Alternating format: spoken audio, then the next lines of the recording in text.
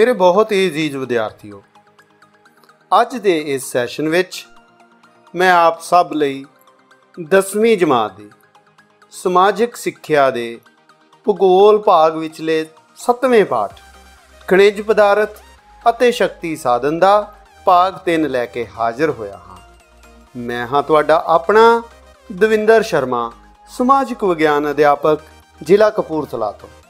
ਤਾਂ ਚਲੋ ਬੱਚਿਓ, ਸ਼ੁਰੂ ਕਰਦੇ ਹਾਂ ਅੱਜ ਦਾ ਇਹ ਸੈਸ਼ਨ ਜਿਸ ਵਿੱਚ ਸਭ ਤੋਂ ਪਹਿਲਾਂ ਅਸੀਂ ਕੁਝ ਕੁਐਸਚਨਸ ਉੱਪਰ ਝਾਤ ਮਾਰਾਂਗੇ। ਸੋ ਬੱਚਿਓ, ਪਹਿਲਾਂ ਦੀ ਤਰ੍ਹਾਂ, ਅੱਜ ਫਿਰ ਮੈਂ ਕੁਝ ਕੁਐਸਚਨਸ ਤੁਹਾਡੇ ਨਾਲ ਸਾਂਝੇ ਕਰਨ ਜਾ ਰਿਹਾ ਹਾਂ ਤੇ ਮੇਰੀ ਉਹੀ ਰਿਕੁਐਸਟ ਹੈ ਕਿ ਤੁਸੀਂ ਇਹਨਾਂ ਕੁਐਸਚਨਸ ਨੂੰ ਪਲੀਜ਼ ਨੋਟ ਕਰ ਲੈਣਾ ਹੈ ਕਿਉਂਕਿ ਅੱਜ ਦਾ ਇਹ ਸਾਰਾ ਸੈਸ਼ਨ ਇਹਨਾਂ ਕੁਐਸਚਨਸ ਦੇ ird-gird ਹੀ ਘੁੰਮੇਗਾ। ਸੋ ਇਹਨਾਂ ਦੇ ਆਨਸਰ ਤੁਹਾਨੂੰ ਸੈਸ਼ਨ ਦੌਰਾਨ ਹੀ ਮਿਲ ਜਾਣਗੇ ਅਤੇ ਇਸ ਵੀਡੀਓ ਦੇ ਅੰਤ ਵਿੱਚ ਮੈਂ ਇਹਨਾਂ ਸਾਰੇ ਕੁਐਸਚਨਸ ਦਾ ਇੱਕ ਇੱਕ ਕਰਕੇ ਆਪ ਜੀ ਨੂੰ ਜਵਾਬ ਵੀ ਦੇਵਾਂਗਾ। ਸੋ ਬੱਚਿਓ, ਸ਼ੁਰੂ ਕਰਦੇ ਹਾਂ। ਸਭ ਤੋਂ ਪਹਿਲਾ ਕੁਐਸਚਨ ਹੈ ਕਿ ਕੋਲੇ ਪੈਟਰੋਲੀਅਮ ਅਤੇ ਕੁਦਰਤੀ ਗੈਸ ਦਾ ਪ੍ਰਯੋਗ ਕਿਹੜੀ ਬਿਜਲੀ ਬਣਾਉਣ ਵਿੱਚ ਕੀਤਾ ਜਾਂਦਾ ਹੈ? ਸੋ ਅੱਗੇ ਚੱਲਦੇ ਹਾਂ ਬੱਚਿਓ। ਨੈਕਸਟ ਕੁਐਸਚਨ ਹੈ ਜੈਵਿਕ ਬਾਲਣ ਕੀ ਹੁੰਦਾ ਹੈ? ਇਸ ਤੋਂ ਬਾਅਦ ਬੱਚਿਓ, ਭਾਰੀ ਜਲ ਤੋਂ ਤਿਆਰ ਬਿਜਲੀ ਨੂੰ ਕੀ ਕਿਹਾ ਜਾਂਦਾ ਹੈ? ਅੱਗੇ ਬੱਚਿਓ, ਭਾਰਤ ਵਿੱਚ ਥਰਮਲ ਪਲਾਂਟਾਂ ਤੋਂ ਕਿੰਨੇ ਪ੍ਰਤੀਸ਼ਤ ਬਿਜਲੀ ਤਿਆਰ ਕੀਤੀ ਜਾਂਦੀ ਹੈ? ਅਤੇ ਬੱਚਿਓ ਲਾਸਟ ਕੁਐਸਚਨ ਭਾਰਤ ਵਿੱਚ ਕਿਹੜੀ ਬਿਜਲੀ ਸਭ ਤੋਂ ਘੱਟ ਤਿਆਰ ਕੀਤੀ ਜਾਂਦੀ ਹੈ? ਸੋ ਬੱਚਿਓ, ਇੱਕ ਵਾਰੀ ਫਿਰ ਇਹਨਾਂ ਸਾਰੇ ਕੁਐਸਚਨਸ ਨੂੰ ਪਲੀਜ਼ ਨੋਟ ਕਰ ਲਓ, ਕਿਉਂਕਿ ਜਿਵੇਂ ਤੁਸੀਂ ਇਹਨਾਂ ਕੁਐਸਚਨ ਤੋਂ ਹੀ ਸਮਝ ਗਏ ਹੋਵੋਗੇ ਕਿ ਅੱਜ ਦੇ ਇਸ ਸੈਸ਼ਨ ਵਿੱਚ ਅਸੀਂ ਥਰਮਲ ਬਿਜਲੀ ਅਤੇ ਪਰਮਾਣੂ ਬਿਜਲੀ ਸੰਬੰਧੀ ਗੱਲ ਕਰਨ ਜਾ ਰਹੇ ਹਾਂ। ਸੋ ਚਲੋ ਬੱਚਿਓ, ਸ਼ੁਰੂ ਕਰਦੇ ਹਾਂ। ਤਾਪ ਸ਼ਕਤੀ ਜਾਂ ਥਰਮਲ ਬਿਜਲੀ? ਸੋ ਬੱਚਿਓ, ਜਦੋਂ ਅਸੀਂ ਤਾਪ ਬਿਜਲੀ ਦੀ ਜਾਂ ਥਰਮਲ ਸ਼ਕਤੀ ਦੀ ਗੱਲ ਕਰਦੇ ਹਾਂ ਤਾਂ ਅਸੀਂ ਕੀ ਦੇਖਦੇ ਹਾਂ ਕਿ ਕੋਲੇ ਪੈਟਰੋਲੀਅਮ ਅਤੇ ਕੁਦਰਤੀ ਗੈਸ ਦਾ ਪ੍ਰਯੋਗ ਕਰਕੇ ਤਾਪ ਬਿਜਲੀ ਘਰਾਂ ਵਿੱਚ ਤਾਪ ਬਿਜਲੀ ਪੈਦਾ ਕੀਤੀ ਜਾਂਦੀ ਹੈ। ਉਹ ਖਣਿਜ ਸਾਧਨ ਜੋ ਤਾਪ ਬਿਜਲੀ ਪੈਦਾ ਕਰਨ ਲਈ ਕੱਚੇ ਮਾਲ ਦੇ ਤੌਰ ਤੇ ਵਰਤੇ ਜਾਂਦੇ ਹਨ, ਉਹਨਾਂ ਨੂੰ ਅਸੀਂ ਜੈਵਿਕ ਬਾਲਣ ਕਹਿੰਦੇ ਹਾਂ। ਫੋਸਿਲ ਫਿਊਲ ਕਹਿੰਦੇ ਹਾਂ। ਸੋ ਬੱਚਿਓ, ਯਾਦ ਰੱਖਣਾ ਹੈ ਕਿ ਉਹ ਸਾਰੇ ਖਣਿਜ ਜੋ ਤਾਪ ਬਿਜਲੀ ਪੈਦਾ ਕਰਨ ਲਈ ਕੱਚੇ ਮਾਲ ਦੇ ਤੌਰ ਤੇ ਵਰਤੇ ਜਾਂਦੇ ਹਨ, ਉਹਨਾਂ ਨੂੰ ਅਸੀਂ ਫੋਸਲ ਫਿਊਲ ਆਖਦੇ ਹਾਂ।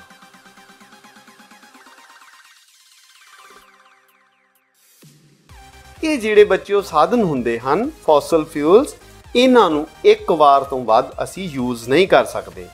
ਸੋ ਇਹ ਇਹਨਾਂ ਦਾ ਗੁਣ ਕਹਿ ਲਓ, ਔਗਣ ਕਹਿ ਲਓ ਜਾਂ ਇਹਨਾਂ ਦੀ ਕਮੀ ਕਹਿ ਲਓ ਕਿ ਇਹ ਇੱਕ ਵਾਰ ਹੀ ਯੂਜ਼ ਹੁੰਦੇ ਹਨ, ਇੱਕ ਤੋਂ ਵੱਧ ਵਾਰ ਯੂਜ਼ ਨਹੀਂ ਹੁੰਦੇ। ਸੋ ਬੱਚਿਓ, ਜਦੋਂ ਇਹਨਾਂ ਨੂੰ ਵਰਤ ਲਿਆ ਜਾਂਦਾ ਹੈ, ਤਾਂ ਵਰਤਣ ਤੋਂ ਬਾਅਦ ਅਸੀਂ ਕੀ ਦੇਖਦੇ ਹਾਂ ਕਿ ਤਾਪ ਬਿਜਲੀ ਘਰਾਂ ਦੇ ਕੋਲ ਢੇਰ ਸਾਰਾ ਕੋਲਾ ਜੋ ਹੈ, ਉਸ ਦੀ ਰਾਖ ਬਚ ਜਾਂਦੀ ਹੈ। ਉਸ ਕੋਲੇ ਦੀ ਸਵਾਹ ਦੇ ਰੂਪ ਵਿੱਚ ਜੋ ਢੇਰ ਹਨ, ਉਹ ਲੱਗ ਜਾਂਦੇ ਹਨ। ਅਤੇ ਬੱਚਿਓ, ਉਸ ਦੇ ਨਾਲ ਆਸ-ਪਾਸ ਦੇ ਜੋ ਇਲਾਕੇ ਹੁੰਦੇ ਹਨ, ਉਹਨਾਂ ਵਿੱਚ ਪ੍ਰਦੂਸ਼ਣ ਫੈਲਣ ਦਾ ਖਤਰਾ ਬਣਿਆ ਰਹਿੰਦਾ ਹੈ। ਦੂਸਰੇ ਪਾਸੇ ਬੱਚਿਓ, ਕੋਲਾ ਅਤੇ ਪੈਟਰੋਲੀਅਮ ਦੇ ਜਲਣ ਨਾਲ ਵੀ ਪ੍ਰਦੂਸ਼ਣ ਹੁੰਦਾ ਹੈ, ਕਿਉਂਕਿ ਸਾਨੂੰ ਪਤਾ ਹੈ ਕਿ ਕੋਲੇ ਅਤੇ ਪੈਟਰੋਲ ਦੇ ਬਦਲਣ ਦੇ ਨਾਲ ਬਹੁਤ ਸਾਰਾ ਧੂਆਂ ਆਕਾਸ਼ ਵਿੱਚ ਜੋ ਜਾਂਦਾ ਹੈ, ਉਹ ਹਵਾ ਨੂੰ ਵੀ ਖਰਾਬ ਕਰਦਾ ਹੈ।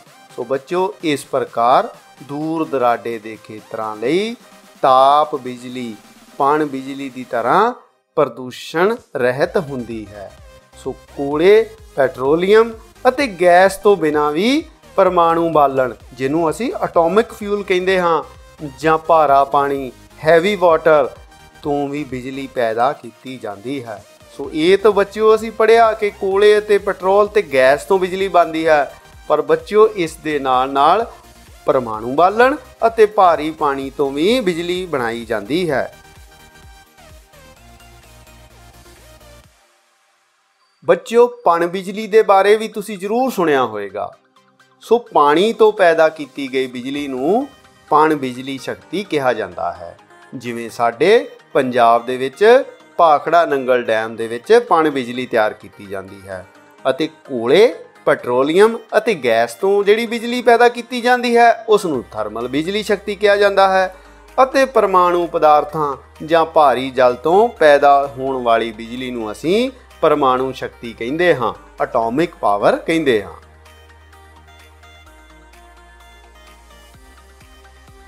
ਵਿਦਿਆਰਥੀਓ, ਬਿਜਲੀ ਦਾ ਸਾਡੀ ਖੇਤੀਬਾੜੀ, ਉਦਯੋਗ, ਆਵਾਜਾਈ, ਸੰਚਾਰ ਅਤੇ ਘਰੇਲੂ ਕੰਮਾਂ ਵਿੱਚ ਬਹੁਤ ਜ਼ਿਆਦਾ ਪ੍ਰਯੋਗ ਕੀਤਾ ਜਾਂਦਾ ਹੈ। ਬੱਚਿਓ, ਜੇ ਆਪਾਂ ਇਸ ਤਰ੍ਹਾਂ ਵੀ ਕਹਿ ਲਈਏ ਕਿ ਬਿਜਲੀ ਤੋਂ ਬਿਨਾ ਸਾਡਾ ਅੱਜ ਦਾ ਜੀਵਨ ਅਸੰਭਵ ਹੈ, ਤਾਂ ਇਹ ਵੀ ਗਲਤ ਗੱਲ ਨਹੀਂ ਹੋਤੀ। ਕਿਉਂਕਿ ਮੈਨੂੰ ਨਹੀਂ ਲੱਗਦਾ ਕਿ ਬੱਚਿਓ ਆਪਾਂ ਬਿਜਲੀ ਤੋਂ ਬਿਨਾ 2 ਦਿਨ ਵੀ ਜੀ ਸਕਦੇ ਹਾਂ।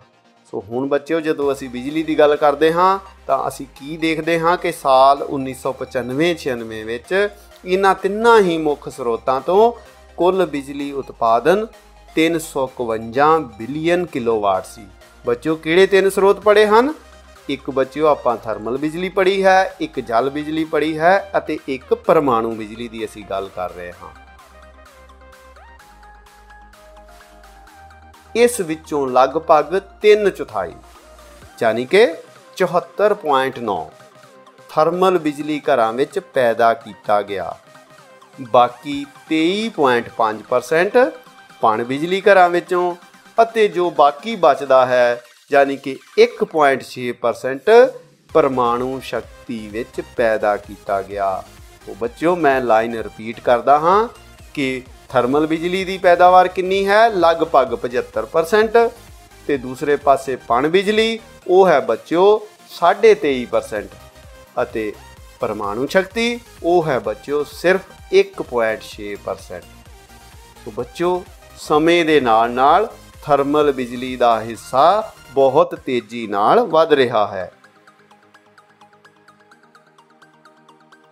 1994-95 ਵਿੱਚ ਦੇਸ਼ ਵਿੱਚ ਬਿਜਲੀ ਦੀ ਸਥਾਪਿਤ ਸਮਰੱਥਾ ਕਹਿਣ ਦਾ ਭਾਵ ਇੰਸਟਾਲਡ ਕਪੈਸਿਟੀ 8.18 ਹਜ਼ਾਰ ਮੈਗਾਵਾਟ ਸੀ। 8ਵੀਂ 5 ਸਾਲਾ ਯੋਜਨਾ, ਜੋ ਕਿ 1992-97 ਦੇ ਦਰਮਿਆਨ ਸੀ, ਦੇ ਦੌਰਾਨ ਸਮਰੱਥਾ ਵਿੱਚ 30858 ਮੈਗਾਵਾਟ ਯੂਨਿਟਾਂ ਹੋਰ ਵਧਾਉਣ ਦਾ ਟੀਚਾ ਸੀ। ਪਰੰਤੂ ਯੋਜਨਾ ਦੇ ਪਹਿਲੇ 4 ਸਾਲ ਬੀਤ ਜਾਣ ਤੇ ਬੱਚਿਓ, ਸਿਰਫ 14800 ਦੇ ਆਸ-ਪਾਸ ਮੈਗਾਵਾਟ ਯੂਨਿਟ, ਜਾਂ ਆਪਾਂ ਇਹ ਕਹਿ ਲਈਏ ਕਿ ਲਗਭਗ 48% ਦਾ ਹੀ ਵਾਧਾ ਹੋ ਸਕਿਆ। ਸੋ ਇਸ ਪ੍ਰਕਾਰ ਅਸੀਂ ਕੀ ਕਹਿ ਸਕਦੇ ਹਾਂ ਕਿ ਸਾਡੇ ਦੇਸ਼ ਵਿੱਚ ਕੁੱਲ ਅਸਲੀ ਬਿਜਲੀ ਉਤਪਾਦਨ ਅਤੇ ਜਿੰਨੀ ਅਸੀਂ ਪੈਦਾ ਕਰ ਸਕਦੇ ਹਾਂ ਬੱਚਿਓ, ਸਥਾਪਿਤ ਸਮਰੱਥਾ ਵਿੱਚ ਕਾਫੀ ਅੰਤਰ ਮਿਲਦਾ ਹੈ। ਰਾਸ਼ਟਰੀ ਗ੍ਰਿਡ ਪ੍ਰਣਾਲੀ ਦੇ ਦੁਆਰਾ ਦੇਸ਼ ਦੇ ਅਲੱਗ-ਅਲੱਗ ਹਿੱਸਿਆਂ ਵਿੱਚ ਬਿਜਲੀ ਸਪਲਾਈ ਦਾ ਕੰਮ ਕੀਤਾ ਜਾਂਦਾ ਹੈ। ਸੋ ਬੱਚਿਓ, ਰਾਸ਼ਟਰੀ ਗ੍ਰਿਡ ਦੁਆਰਾ ਹੀ ਸਾਡੇ ਪਿੰਡਾਂ ਵਿੱਚ, ਸਾਡੇ ਸ਼ਹਿਰਾਂ ਵਿੱਚ, ਭਾਰਤ ਦੇ ਵੱਖ-ਵੱਖ ਪ੍ਰਦੇਸ਼ਾਂ ਦੇ ਵਿੱਚ, ਵੱਖ-ਵੱਖ ਪਿੰਡਾਂ ਵਿੱਚ ਬਿਜਲੀ ਜਾਂਦੀ ਹੈ।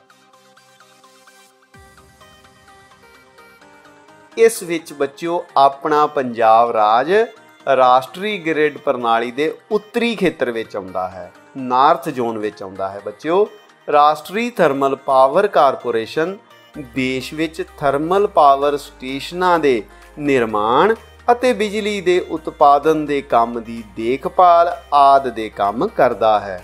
ਪੰਜਾਬ ਵਿੱਚ ਰੋਪੜ ਅਤੇ ਬਠਿੰਡਾ ਵਿੱਚ ਥਰਮਲ ਪਾਵਰ ਸਟੇਸ਼ਨ ਹਨ।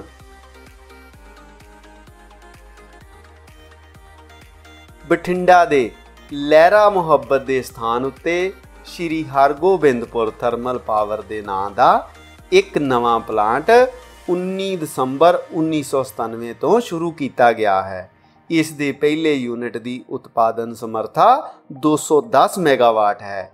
ਇਹਨਾਂ ਤੋਂ ਇਲਾਵਾ ਪਣ ਬਿਜਲੀ ਦੀਆਂ ਹੋਰ ਵੀ ਅਨੇਕਾਂ ਯੋਜਨਾਵਾਂ ਹਨ, ਜਿਵੇਂ ਭਾਖੜਾ ਨੰਗਲ ਬਿਜਲੀ ਯੋਜਨਾ ਸਭ ਤੋਂ ਮਹੱਤਵਪੂਰਨ ਅਤੇ ਵੱਡੀ ਸਮਰੱਥਾ ਵਾਲੀ ਹੈ। ਇਸ ਦੀ ਸਥਾਪਨਾ 1966 ਵਿੱਚ ਪੰਜਾਬ ਪੁਨਰਗਠਨ ਐਕਟ ਦੇ ਅਧੀਨ ਕੀਤੀ ਗਈ ਸੀ। ਦੇਸ਼ ਵਿੱਚ ਬਿਜਲੀ ਸ਼ਕਤੀ ਦੇ ਟਰਾਂਸਮਿਸ਼ਨ ਅਤੇ ਵੰਡ ਵਿੱਚ ਬੱਚਿਓ ਕਾਫੀ ਉન્નਤੀ ਹੋਈ ਹੈ। 1950 ਵਿੱਚ ਕੁੱਲ 10000 ਸਰਕਟ ਕਿਲੋਮੀਟਰ ਸੀ। ਜੋ ਮਾਰਚ 1992 ਵਿੱਚ ਵੱਧ ਕੇ 218000 ਸਰਕਟ ਕਿਲੋਮੀਟਰ ਤੱਕ ਪਹੁੰਚ ਗਈ। ਇਸ ਤੋਂ ਬਿਨਾ 400 ਕਿਲੋਵਾਟ ਦੇ ਉੱਚ ਵੋਲਟੇਜ ਦੀ ਟਰਾਂਸਮਿਸ਼ਨ ਲਾਈਨਾਂ ਵੀ ਹਨ। ਇਹਨਾਂ ਦੀ ਲੰਬਾਈ ਮਾਰਚ 1992 ਵਿੱਚ 26000 ਸਰਕਟ ਕਿਲੋਮੀਟਰ ਸੀ। ਇਸ ਤੋਂ ਇਲਾਵਾ ਬੱਚਿਓ, ਪਹਿਲੀ 500 kilowatt HVDC bipole. Rihand Dadri transmission line 820 kilometre ਦੀ ਲੰਬਾਈ ਵਿੱਚ ਕੰਮ ਕਰ ਰਹੀ ਹੈ। ਨਾਲ ਹੀ ਅੰਤਰਰਾਜੀ ਜੋੜ ਲਾਈਨ ਜੋ ਪੱਛਮੀ ਅਤੇ ਉੱਤਰੀ ਖੇਤਰਾਂ ਨੂੰ ਜੋੜਦੀ ਹੈ, ਇਸ ਵੇਲੇ ਕੰਮ ਕਰ ਰਹੀ ਹੈ। ਵਿਦਿਆਰਥੀਓ, ਅਜੇ ਵੀ ਦੇਸ਼ ਦੇ ਸ਼ਕਤੀ ਉਤਪਾਦਨ ਕੇਂਦਰਾਂ ਵਿੱਚ ਸਥਾਪਿਤ ਸਮਰੱਥਾ ਕਹਿਣ ਦਾ ਭਾਵ ਜਿੰਨੀ ਬਿਜਲੀ ਅਸੀਂ ਪੈਦਾ ਕਰ ਸਕਦੇ ਹਾਂ, ਉਸ ਦਾ 60 ਤੋਂ 62% ਹੀ ਪ੍ਰਯੋਗ ਹੋ ਰਿਹਾ ਹੈ। ਚੰਗੀ ਤਰ੍ਹਾਂ ਕੀਤੀ ਗਈ ਦੇਖਭਾਲ ਹੀ ਕੰਮ ਨਿਪੁੰਨਤਾ ਨੂੰ ਵਧਾ ਸਕਦੀ ਹੈ। 5 ਸਾਲਾ ਯੋਜਨਾਵਾਂ ਵਿੱਚ, ਪਿੰਡੂ ਖੇਤਰਾਂ ਵਿੱਚ ਬਿਜਲੀ ਸ਼ਕਤੀ ਦੇ ਫੈਲਾਅ ਅਤੇ ਵੱਧ ਧਿਆਨ ਦਿੱਤਾ ਗਿਆ ਹੈ। ਪਿੰਡੂ ਬਿਜਲੀਕਰਨ ਦੀਆਂ ਯੋਜਨਾਵਾਂ, ਰਾਜ ਸਰਕਾਰ ਅਤੇ ਪਿੰਡੂ ਬਿਜਲੀਕਰਨ ਨਿਗਮ ਦੋਹਾਂ ਵੱਲੋਂ ਮਿਲ ਕੇ ਚਲਾਇਆ ਜਾਂਦਾ ਹੈ। ਵਿਦਿਆਰਥੀਓ, ਸਾਲ 1991-92 ਤੱਕ 488000 ਪਿੰਡਾਂ ਨੂੰ ਬਿਜਲੀ ਦਿੱਤੀ ਜਾ ਚੁੱਕੀ ਹੈ ਅਤੇ ਇਹਨਾਂ ਵਿੱਚੋਂ 96 ਲੱਖ ਟਿਊਬਲ ਕਨੈਕਸ਼ਨ ਵੀ ਲਗਾਏ ਜਾ ਚੁੱਕੇ ਹਨ। ਕੁੱਲ ਮਿਲਾ ਕੇ 84% ਤੋਂ ਵੱਧ ਪਿੰਡਾਂ ਵਿੱਚ ਬਿਜਲੀ ਪਹੁੰਚ ਚੁੱਕੀ ਹੈ। ਅਤੇ ਬੱਚਿਓ, ਪੰਜਾਬ ਭਾਰਤ ਦਾ ਇੱਕ ਅਜਿਹਾ ਸੂਬਾ ਹੈ, ਜਿਸ ਦੇ ਸਾਰੇ ਪਿੰਡਾਂ ਵਿੱਚ ਬਿਜਲੀ ਪਹੁੰਚ ਚੁੱਕੀ ਹੈ। ਲੋ ਬੱਚਿਓ, ਹੁਣ ਮੈਂ ਤੁਹਾਡੇ ਨਾਲ ਇੱਕ ਥਰਮਲ ਪਾਵਰ ਪਲਾਂਟ ਹੈ, ਜਿਸ ਨੂੰ ਮੈਂ ਤੁਹਾਡੇ ਨਾਲ ਸਾਂਝਾ ਕਰ ਰਿਹਾ ਹਾਂ।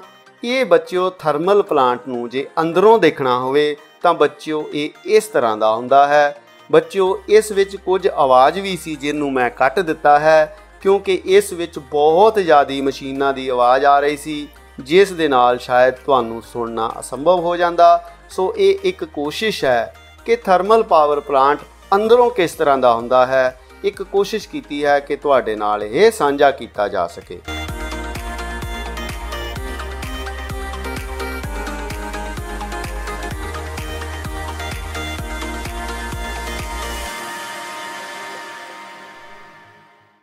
ਤੁਸੀਂ ਦੇਖ ਸਕਦੇ ਹੋ ਬੱਚਿਓ, ਕਿੰਨੀਆਂ ਵੱਡੀਆਂ ਵੱਡੀਆਂ ਮਸ਼ੀਨਾਂ ਇਸ ਦੇ ਅੰਦਰ ਲੱਗੀਆਂ ਹੋਈਆਂ ਹਨ।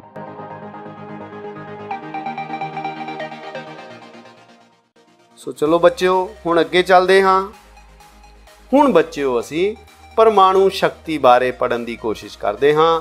ਇਸ ਤੋਂ ਪਹਿਲਾਂ ਅਸੀਂ ਥਰਮਲ ਸ਼ਕਤੀ ਦੀ ਗੱਲ ਕੀਤੀ ਸੀ। ਹੁਣ ਅਸੀਂ ਪਰਮਾਣੂ ਸ਼ਕਤੀ ਬਾਰੇ ਪੜਨ ਦੀ ਕੋਸ਼ਿਸ਼ ਕਰਾਂਗੇ। ਪਰਮਾਣੂ ਸ਼ਕਤੀ ਕੇਂਦਰ ਅਜਿਹੇ ਖੇਤਰਾਂ ਵਿੱਚ ਆਸਾਨੀ ਨਾਲ ਸਥਾਪਿਤ ਕੀਤੇ ਜਾ ਸਕਦੇ ਹਨ, ਜਿੱਥੇ ਸ਼ਕਤੀ ਦੇ ਹੋਰ ਅਤੇ ਦੂਸਰੇ ਸਾਧਨ ਜਾਂ ਤਾਂ ਬਿਲਕੁਲ ਨਹੀਂ ਹਨ ਜਾਂ ਉਹਨਾਂ ਦੇ ਪ੍ਰਯੋਗ ਦੀਆਂ ਜ਼ਰੂਰਤਾਂ ਨੂੰ ਪੂਰਾ ਕਰਨ ਵਿੱਚ ਸਮਰੱਥ ਨਹੀਂ ਹੁੰਦੇ। ਸੋ ਵਿਦਿਆਰਥੀਓ, ਭਾਰਤ ਦੁਆਰਾ ਪਰਮਾਣੂ ਸ਼ਕਤੀ ਨੂੰ ਮੈਡੀਕਲ ਅਤੇ ਖੇਤੀਬਾੜੀ ਜਿਹੇ ਖੇਤਰਾਂ ਵਿੱਚ ਸ਼ਾਂਤੀਪੂਰਨ ਪ੍ਰਯੋਗ ਦੇ ਲਈ ਸੰਸਾਰ ਦੇ ਅਗਾਂਹ-ਵਧੂ ਦੇਸ਼ਾਂ ਵਿੱਚ ਮੰਨਿਆ ਜਾਂਦਾ ਹੈ। ਦੇਸ਼ ਵਿੱਚ ਕੁਝ ਪਰਮਾਣੂ ਖਣਿਜਾਂ ਦੇ ਵੱਧ ਮਾਤਰਾ ਵਿੱਚ ਭੰਡਾਰ ਵੀ ਮਿਲਦੇ ਹਨ। ਬਿਹਾਰ ਅਤੇ ਰਾਜਸਥਾਨ ਦੇ ਕੁਝ ਭਾਗਾਂ ਵਿੱਚ ਯੂਰੇਨੀਅਮ ਦੀਆਂ ਖਾਣਾਂ ਵੀ ਪਾਈਆਂ ਜਾਂਦੀਆਂ ਹਨ। ਬੱਚਿਓ, ਭਾਰਤ ਦੇ ਵਿੱਚ ਜਦੋਂ ਅਸੀਂ ਕੇਰਲ ਰਾਜ ਦੀ ਗੱਲ ਕਰਦੇ ਹਾਂ, ਤਾਂ ਕੇਰਲ ਦੇ ਵਿੱਚ ਸਮੁੰਦਰੀ ਤੱਟ ਉੱਤੇ ਮਿਲਣ ਵਾਲਾ ਮੋਨਜ਼ਾਈਟ ਰੇਤ ਪਰਮਾਣੂ ਸ਼ਕਤੀ ਦਾ ਮੁੱਢਲਾ ਸਾਧਨ ਹੈ, ਜਿਸ ਵਿੱਚੋਂ ਯੂਰੇਨੀਅਮ ਕੱਢਿਆ ਜਾਂਦਾ ਹੈ। ਚੈਰੋਲਿਟ, ਸੈਂਕੋਨਿਜ਼ਮ ਅਤੇ ਪਲੇਸਰ ਵੀ ਪਰਮਾਣੂ ਖਣਿਜ ਹਨ। ਭਾਰਤ ਵਿੱਚ ਇਸ ਦੇ ਵੱਡੇ ਭੰਡਾਰ ਹਨ। ਪੂਰਬੀ ਭਾਰਤ ਦੇ ਪਹਾੜੀ ਭਾਗਾਂ ਵਿੱਚ ਫਾਈਟ ਦੇ ਭੰਡਾਰ ਵੀ ਮਿਲੇ ਹਨ। ਦੇਸ਼ ਵਿੱਚ ਪਰਮਾਣੂ ਸ਼ਕਤੀ ਦੇ 4 ਕੇਂਦਰ ਹਨ। ਇਹਨਾਂ ਵਿੱਚ ਮਹਾਰਾਸ਼ਟਰ, ਗੁਜਰਾਤ ਸੀਮਾ ਤੇ ਤਾਰਾਪੁਰ, ਰਾਜਸਥਾਨ ਵਿੱਚ ਕੋਟਾ ਦੇ ਪਾਸ ਰਾਵਟਪਾਟਾ ਤਾਮਿਲਨਾਡੂ ਵਿੱਚ ਕਲਪਕਮ ਅਤੇ ਪੱਛਮੀ ਉੱਤਰ ਪ੍ਰਦੇਸ਼ ਦੇ ਬੁਲੰਦ ਸ਼ਹਿਰ ਜ਼ਿਲ੍ਹੇ ਵਿੱਚ ਨੋਰੰਗ। ਇਹ ਬੱਚਿਓ ਚਾਰ ਕੇਂਦਰ ਹਨ ਜਿੱਥੇ ਪਰਮਾਣੂ ਸ਼ਕਤੀ ਦੇ ਕੇਂਦਰ ਕੰਮ ਕਰ ਰਹੇ ਹਨ। ਵਿਦਿਆਰਥੀਓ, ਸਾਲ 1994-95 ਵਿੱਚ ਇਹਨਾਂ ਸਭ ਦਾ ਕੁੱਲ ਉਤਪਾਦਨ 5.6 ਬਿਲੀਅਨ ਕਿਲੋਵਾਟ ਸੀ, ਜੋ ਦੇਸ਼ ਦੇ ਕੁੱਲ ਬਿਜਲੀ ਉਤਪਾਦਨ ਦਾ 2% ਤੋਂ ਕੁਝ ਘੱਟ ਸੀ। ਸੋ ਦੇਸ਼ ਵਿੱਚ ਲਗਾਤਾਰ ਖੋਜ ਅਤੇ ਵਿਕਾਸ ਦੇ ਕੰਮ ਚੱਲ ਰਹੇ ਹਨ, ਤਾਂ ਕਿ ਪਰਮਾਣੂ ਬਿਜਲੀ ਘਰਾਂ ਦੀ ਦੇਖ-ਰੇਖ, ਮੁਰੰਮਤ ਅਤੇ ਪਰਮਾਣੂ ਬਾਲਣ ਬਣਾਉਣ ਦਾ ਕੰਮ ਪੂਰੀ ਤਰ੍ਹਾਂ ਨਾਲ ਦੇਸ਼ ਵਿੱਚ ਹੀ ਪੂਰਾ ਕੀਤਾ ਜਾ ਸਕੇ। ਪਰਮਾਣੂ ਬਾਲਣ ਤੋਂ ਬਿਜਲੀ ਬਣਾਉਣ ਵਿੱਚ ਨਿਊਕਲੀਅਰ ਰਿਐਕਟਰਾਂ ਦੀ ਜ਼ਰੂਰਤ ਹੁੰਦੀ ਹੈ, ਜਿਨ੍ਹਾਂ ਨੂੰ ਬਾਹਰਲੇ ਦੇਸ਼ਾਂ ਤੋਂ ਮੰਗਵਾਉਣਾ ਪੈਂਦਾ ਹੈ ਆਯਾਤ ਕਰਨਾ ਪੈਂਦਾ ਹੈ। ਕੁਝ ਪਰਮਾਣੂ ਸ਼ਕਤੀ ਨਾਲ ਭਰਪੂਰ ਦੇਸ਼ ਚਾਹੁੰਦੇ ਹਨ ਕਿ ਭਾਰਤ ਜਿਹੇ ਦੇਸ਼ ਆਜ਼ਾਦ ਤੌਰ ਤੇ, ਸੁਤੰਤਰ ਤੌਰ ਤੇ ਇਸ ਦੀ ਵਰਤੋਂ ਆਪਣੇ ਦੇਸ਼ ਵਿੱਚ ਨਾ ਕਰਨ। ਇਸ ਕਰਕੇ ਭਾਰਤ ਦੇ ਪਰਮਾਣੂ ਕੰਮ ਨੂੰ ਅੰਤਰਰਾਸ਼ਟਰੀ ਨਿਗਰਾਨੀ ਹੇਠ ਲਿਆਉਣ ਦੀ ਉਹ ਕੋਸ਼ਿਸ਼ ਕਰ ਰਹੇ ਹਨ। ਉਹਨਾਂ ਨੇ ਭਾਰਤ ਕੋਲੋਂ ਅੰਤਰਰਾਸ਼ਟਰੀ ਸੰਧੀ ਤੇ ਹਸਤਾਖਰ ਕਰਾਉਣ ਦਾ ਅਜੇ ਹੁਣੇ ਹੀ ਫਿਰ ਜ਼ੋਰਦਾਰ ਯਤਨ ਕੀਤਾ ਹੈ। ਪਰ ਭਾਰਤ ਦਾ ਇਹ ਸੁਝਾਅ ਅਤੇ ਪੱਖ ਹੈ ਕਿ ਇਹ ਸੰਧੀ ਭੇਦਭਾਵਪੂਰਨ ਹੈ ਅਤੇ ਇਸ ਨਾਲ ਭਾਰਤ ਵਰਗੇ ਹੋਰ ਗਰੀਬ ਦੇਸ਼ ਪਰਮਾਣੂ ਸ਼ਕਤੀ ਦਾ ਸ਼ਾਂਤੀਪੂਰਨ ਕੰਮਾਂ ਲਈ ਪ੍ਰਯੋਗ ਨਹੀਂ ਕਰ ਸਕਣਗੇ। ਇਸ ਤਰ੍ਹਾਂ ਦੀ ਅੰਤਰਰਾਸ਼ਟਰੀ ਨੀਤੀ ਤੇ ਜ਼ੋਰ ਕਾਰਨ ਹੀ ਦੇਸ਼ ਨੂੰ ਇਸ ਕੰਮ ਵਿੱਚ ਜ਼ਰੂਰੀ ਯੰਤਰਾਂ ਦੀ ਸਪਲਾਈ ਵਿੱਚ ਲਗਾਤਾਰ ਸਮੱਸਿਆਵਾਂ ਦਾ ਸਾਹਮਣਾ ਕਰਨਾ ਪੈ ਰਿਹਾ ਹੈ। ਦੇਸ਼ ਦੇ ਵਿਗਿਆਨੀ ਖੋਜ ਦੁਆਰਾ ਵਿਕਲਪਿਕ ਪ੍ਰਣਾਲੀ ਦੀ ਖੋਜ ਕਰ ਰਹੇ ਹਨ। ਕੁਝ ਸਮਾਂ ਪਹਿਲਾਂ ਹੀ ਭਾਰਤ ਦੇ ਵਿਗਿਆਨੀਆਂ ਨੇ ਇੱਕ ਬਹੁਤ ਵੱਡੀ ਸਫਲਤਾ ਉਦੋਂ ਹਾਸਲ ਕੀਤੀ ਜਦੋਂ ਉਹਨਾਂ ਨੇ ਰਾਜਸਥਾਨ ਵਿੱਚ ਕਾਫੀ ਦੇਰ ਤੋਂ ਬੰਦ ਪਏ ਰਾਵਟ ਰਾਵਟਪਾਟਾ ਦੇ ਪਰਮਾਣੂ ਰਿਐਕਟਰ ਦੀ ਇੱਕ ਇਕਾਈ ਨੂੰ ਦੇਸੀ ਤਰੀਕੇ ਨਾਲ ਮੁਰੰਮਤ ਕਰਕੇ ਚਾਲੂ ਕਰ ਦਿੱਤਾ। ਇਸ ਨਾਲ ਨਾ ਕੇਵਲ ਕਰੋੜਾਂ ਰੁਪਏ ਦੀ ਵਿਦੇਸ਼ੀ ਪੂੰਜੀ ਦੀ ਬਚਤ ਹੋਈ, ਬਲਕਿ ਭਾਰਤੀ ਪਰਮਾਣੂ ਤਕਨੀਕ ਦੇ ਇਤਿਹਾਸ ਨੂੰ ਚਾਰ ਚੰਦ ਵੀ ਲੱਗ ਗਏ। ਇਹ ਸੱਚਮੁੱਚ ਹੀ ਦੇਸ਼ ਲਈ ਮਾਣ ਵਾਲੀ ਗੱਲ ਹੈ। ਸੋ ਬੱਚਿਓ, ਇਸ ਸੈਸ਼ਨ ਵਿੱਚ ਅਸੀਂ ਦੋ ਤਰ੍ਹਾਂ ਦੀ ਬਿਜਲੀ ਜਾਂ ਸ਼ਕਤੀ ਬਾਰੇ ਪੜ੍ਹ ਚੁੱਕੇ ਹਾਂ। ਪਹਿਲਾਂ ਅਸੀਂ ਥਰਮਲ ਸ਼ਕਤੀ ਦੀ ਗੱਲ ਕੀਤੀ ਸੀ, ਉਸ ਤੋਂ ਬਾਅਦ ਅਸੀਂ ਪਰਮਾਣੂ ਸ਼ਕਤੀ ਦੀ ਗੱਲ ਕੀਤੀ ਹੈ। ਸੋ ਬੱਚਿਓ, ਇਸ ਸੈਸ਼ਨ ਦੇ ਸ਼ੁਰੂ ਹੋਣ ਤੋਂ ਪਹਿਲਾਂ ਮੈਂ ਆਪ ਜੀ ਦੇ ਨਾਲ ਪਹਿਲਾਂ ਦੀ ਤਰ੍ਹਾਂ ਕੁਝ ਕੁਐਸਚਨ ਸਾਂਝੇ ਕੀਤੇ ਸਨ। ਚਲੋ, ਹੁਣ ਸਮਾਂ ਹੈ ਉਹਨਾਂ ਕੁਐਸਚਨ ਦੇ ਆਨਸਰ ਦੇਣ ਦਾ। ਸੋ ਬੱਚਿਓ, ਸਾਡਾ ਪਹਿਲਾ ਕੁਐਸਚਨ ਸੀ ਕਿ ਕੋਲੇ ਪੈਟਰੋਲੀਅਮ ਅਤੇ ਕੁਦਰਤੀ ਗੈਸ ਦਾ ਪ੍ਰਯੋਗ ਕਿਹੜੀ ਬਿਜਲੀ ਬਣਾਉਣ ਲਈ ਕੀਤਾ ਜਾਂਦਾ ਹੈ? ਸੋ ਬੱਚਿਓ, ਅਸੀਂ ਪੜ੍ਹ ਕੇ ਆਏ ਹਾਂ। ਚਲੋ, ਇਹਨਾਂ ਦੀਆਂ ਆਪਸ਼ਨਸ ਵੀ ਦੇਖ ਲੈਨੇ ਹਾਂ। ਤਾਪ ਬਿਜਲੀ ਬਣਾਉਣ ਲਈ, ਪੌਣ ਊਰਜਾ ਦੇ ਲਈ ਜਾਂ ਪਣ ਬਿਜਲੀ ਲਈ? ਸੋ ਬੱਚਿਓ, ਮੈਨੂੰ ਪੂਰਾ ਯਕੀਨ ਹੈ ਕਿ ਤੁਹਾਨੂੰ ਇਸ ਦਾ ਆਨਸਰ ਜ਼ਰੂਰ ਆਉਂਦਾ ਹੋਵੇਗਾ। ਕਿ ਕੋਲੇ ਪੈਟਰੋਲੀਅਮ ਅਤੇ ਕੁਦਰਤੀ ਗੈਸ ਦਾ ਪ੍ਰਯੋਗ ਅਸੀਂ ਤਾਪ ਬਿਜਲੀ ਬਣਾਉਣ ਲਈ ਕਰਦੇ ਹਾਂ। ਸੋ ਇਸ ਦਾ ਠੀਕ ਆਨਸਰ ਹੈ ਤਾਪ ਬਿਜਲੀ, ਜਿਸ ਵਿੱਚ ਕੋਲਾ ਵੀ ਵਰਤਿਆ ਜਾਂਦਾ ਹੈ, ਪੈਟਰੋਲੀਅਮ ਵੀ ਵਰਤਿਆ ਜਾਂਦਾ ਹੈ ਅਤੇ ਕੁਦਰਤੀ ਗੈਸ ਦੀ ਵੀ ਵਰਤੋਂ ਕੀਤੀ ਜਾਂਦੀ ਹੈ। ਚਲੋ ਬੱਚਿਓ, ਹੁਣ ਅਸੀਂ ਨੈਕਸਟ ਕੁਐਸਚਨ ਦੀ ਗੱਲ ਕਰਦੇ ਹਾਂ। ਭਾਰੀ ਜਲ ਤੋਂ ਤਿਆਰ ਬਿਜਲੀ ਨੂੰ ਕੀ ਕਿਹਾ ਜਾਂਦਾ ਹੈ? ਸੋ ਸਾਡੀਆਂ ਆਪਸ਼ਨਸ ਦੇਖਦੇ ਹਾਂ ਅਸੀਂ। ਲਓ ਬੱਚਿਓ, ਤਾਪ ਬਿਜਲੀ। ਸਾਡੀ ਦੂਸਰੀ ਆਪਸ਼ਨ ਹੈ ਪਾਣ ਬਿਜਲੀ। ਤੇ ਬੱਚਿਓ, ਸਾਡੀ ਤੀਸਰੀ ਆਪਸ਼ਨ ਹੈ ਪਰਮਾਣੂ ਸ਼ਕਤੀ। ਸੋ ਬੱਚਿਓ, ਅਸੀਂ ਇਸ ਕੁਐਸਚਨ ਨੂੰ ਵੀ ਪਿੱਛੇ ਪੜ ਕੇ ਆਏ ਹਾਂ ਕਿ ਭਾਰੀ ਜਲ ਤੋਂ ਜਿਹੜੀ ਬਿਜਲੀ ਤਿਆਰ ਕੀਤੀ ਜਾਂਦੀ ਹੈ, ਉਸ ਬਿਜਲੀ ਨੂੰ ਬੱਚਿਓ, ਅਸੀਂ ਪਰਮਾਣੂ ਸ਼ਕਤੀ ਕਹਿੰਦੇ ਹਾਂ। ਸੋ ਇਸ ਦਾ ਠੀਕ ਆਨਸਰ ਹੈ ਪਰਮਾਣੂ ਸ਼ਕਤੀ। ਲਓ ਬੱਚਿਓ, ਸਾਡਾ ਨੈਕਸਟ ਕੁਐਸਚਨ ਹੈ ਕਿ ਭਾਰਤ ਵਿੱਚ ਥਰਮਲ ਪਲਾਂਟਾਂ ਤੋਂ ਕਿੰਨੇ ਪ੍ਰਤੀਸ਼ਤ ਬਿਜਲੀ ਤਿਆਰ ਕੀਤੀ ਜਾਂਦੀ ਹੈ? ਕਹਿਣ ਦਾ ਭਾਵ ਬੱਚਿਓ, ਆਪਾਂ ਥਰਮਲ ਸ਼ਕਤੀ ਦੀ ਗੱਲ ਕਰ ਰਹੇ ਹਾਂ। ਚਲੋ, ਅਸੀਂ ਆਪਣੀਆਂ ਆਪਸ਼ਨਸ ਦੇਖਦੇ ਹਾਂ। ਲਓ ਜੀ 74.9% ਦੂਸਰਾ ਆਪਸ਼ਨ ਸਾਡੀ ਬੱਚਿਓ 23.5% ਅਤੇ ਤੀਸਰੀ ਆਪਸ਼ਨ ਬੱਚਿਓ 1.6% ਸੋ ਇੱਥੇ ਵੀ ਮੈਨੂੰ ਪੂਰਾ ਯਕੀਨ ਹੈ ਕਿ ਕਿਉਂਕਿ ਬੱਚਿਓ, ਤੁਸੀਂ ਪੂਰੇ ਇੰਟੈਲੀਜੈਂਟ ਹੋ ਅਤੇ ਤੁਸੀਂ ਮੇਰੀ ਸਾਰੀ ਵੀਡੀਓ ਨੂੰ ਧਿਆਨ ਨਾਲ ਸੁਣਿਆ ਹੈ। ਸੋ ਤੁਹਾਨੂੰ ਇਸ ਦਾ ਆਨਸਰ ਵੀ ਆਉਂਦਾ ਹੋਵੇਗਾ। ਸੋ ਇਸ ਦਾ ਆਨਸਰ ਹੈ ਬੱਚਿਓ 74.9% ਚਲੋ ਬੱਚਿਓ, ਹੁਣ ਆਪਾਂ ਨੈਕਸਟ ਕੁਐਸਚਨ ਤੇ ਚੱਲਦੇ ਹਾਂ। ਲਓ ਜੀ, ਸਾਡਾ ਨੈਕਸਟ ਕੁਐਸਚਨ ਹੈ। ਕਿ ਭਾਰਤ ਵਿੱਚ ਕਿਹੜੀ ਬਿਜਲੀ ਸਭ ਤੋਂ ਘੱਟ ਤਿਆਰ ਕੀਤੀ ਜਾਂਦੀ ਹੈ? ਅਸੀਂ ਵੱਧ ਤਾਂ ਪੜ੍ਹ ਕੇ ਆਏ ਹਾਂ, ਹੁਣ ਅਸੀਂ ਘੱਟ ਦੀ ਵੀ ਗੱਲ ਕਰ ਲਈਏ। ਲਓ ਬੱਚਿਓ, ਸਾਡੀਆਂ ਆਪਸ਼ਨਸ ਹਨ ਥਰਮਲ ਬਿਜਲੀ, ਪਣ ਬਿਜਲੀ ਜਾਂ ਪਰਮਾਣੂ ਸ਼ਕਤੀ। ਇੱਥੇ ਵੀ ਮੈਨੂੰ ਪੂਰਾ ਯਕੀਨ ਹੈ ਬੱਚਿਓ ਕਿ ਇਸ ਦਾ ਆਨਸਰ ਵੀ ਤੁਹਾਨੂੰ ਆਉਂਦਾ ਹੋਵੇਗਾ। ਇਸ ਦਾ ਠੀਕ ਆਨਸਰ ਹੈ ਯੈਸ ਪਰਮਾਣੂ ਸ਼ਕਤੀ ਸਭ ਤੋਂ ਘੱਟ ਤਿਆਰ ਕੀਤੀ ਜਾ ਰਹੀ ਹੈ।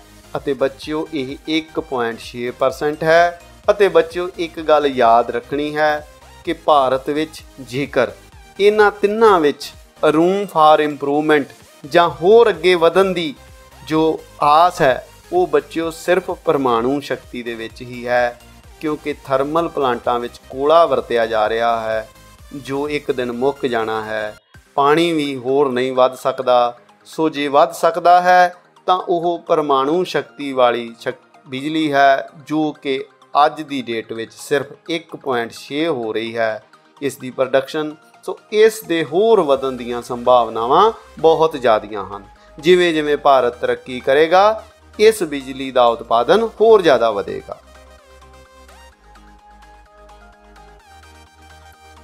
ਨੈਕਸਟ ਕੁਐਸਚਨ ਹੈ ਬੱਚਿਓ, ਭਾਰਤ ਵਿੱਚ ਰਾਵਟ ਪਾਟਾ।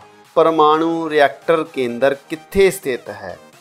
ਸੋ ਬੱਚਿਓ, ਅਸੀਂ ਆਪਸ਼ਨਸ ਦੇਖਦੇ ਹਾਂ ਤਾਮਿਲਨਾਡੂ ਵਿੱਚ ਨੰਬਰ 2 ਗੁਜਰਾਤ ਵਿੱਚ, ਜਾਂ ਨੰਬਰ 3 ਰਾਜਸਥਾਨ ਵਿੱਚ।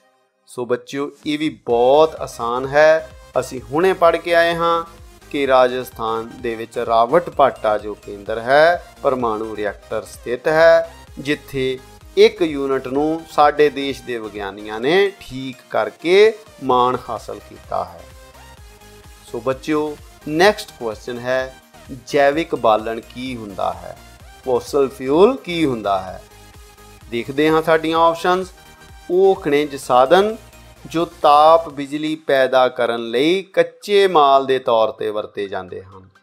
ਦੂਜੀ ਆਪਸ਼ਨ ਉਹ ਖਣਿਜ ਸਾਧਨ ਜੋ ਪਣ ਬਿਜਲੀ ਪੈਦਾ ਕਰਨ ਲਈ ਕੱਚੇ ਮਾਲ ਦੇ ਤੌਰ ਤੇ ਵਰਤੇ ਜਾਂਦੇ ਹਨ। ਸੋ ਬੱਚਿਓ, ਸ਼ਾਇਦ ਦੂਸਰੀ ਆਪਸ਼ਨ ਦੇ ਨਾਲ ਤੁਹਾਨੂੰ ਸਮਝ ਆ ਗਿਆ ਹੋਵੇਗਾ ਕਿ ਇਸ ਦਾ ਠੀਕ ਆਨਸਰ ਕੀ ਹੈ। ਸੋ ਇਸ ਦਾ ਠੀਕ ਆਨਸਰ ਹੈ ਬੱਚਿਓ, ਤਾਪ ਬਿਜਲੀ। ਕੋਲੇ ਵਾਲੀ ਬਿਜਲੀ ਜਿਹੜੀ ਹੈ, ਉਸ ਤੋਂ ਕੋਲੇ ਵਾਲੀ ਬਿਜਲੀ ਪੈਦਾ ਕਰਨ ਦੇ ਲਈ ਜਿਹੜੇ ਸਾਧਨ ਵਰਤੇ ਜਾਂਦੇ ਹਨ, ਉਹਨਾਂ ਨੂੰ ਅਸੀਂ ਜੈਵਿਕ ਬਾਲਣ ਕਹਿੰਦੇ ਹਾਂ। ਸੋ ਚਲੋ ਅੱਗੇ ਚੱਲਦੇ ਹਾਂ।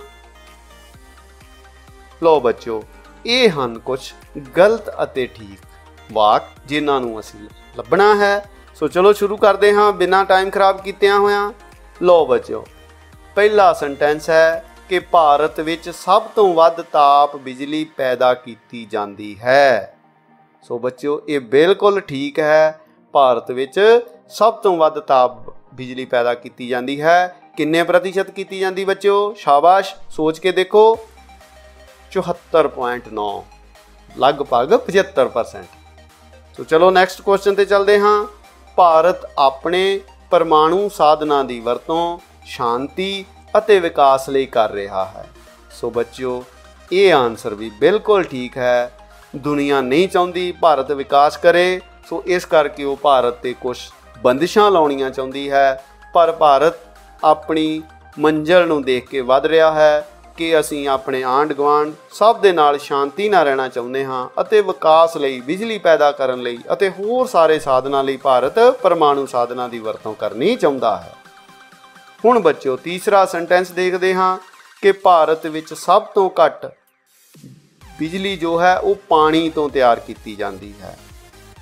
ਸੋ ਬੱਚਿਓ, ਇਹ ਬਿਲਕੁਲ ਗਲਤ ਹੈ ਕਿਉਂਕਿ ਸਭ ਤੋਂ ਘੱਟ ਬਿਜਲੀ ਪਰਮਾਣੂ ਸਾਧਨਾਂ ਤੋਂ ਤਿਆਰ ਕੀਤੀ ਜਾਂਦੀ ਹੈ।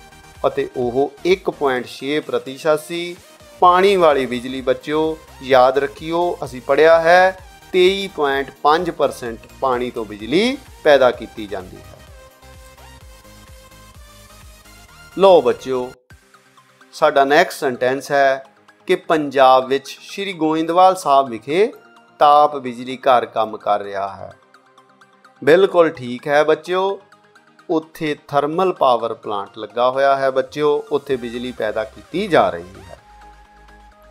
ਇਸ ਤੋਂ ਬਾਅਦ ਬੱਚਿਓ ਸੈਕੰਡ ਲਾਸਟ ਸੈਂਟੈਂਸ ਹੈ ਅੱਜ ਦਾ ਤਾਮਿਲਨਾਡੂ ਵਿਖੇ। ਕਲਪਕਮ ਵਿੱਚ ਪਰਮਾਣੂ ਬਿਜਲੀ ਤਿਆਰ ਕੀਤੀ ਜਾ ਰਹੀ ਹੈ।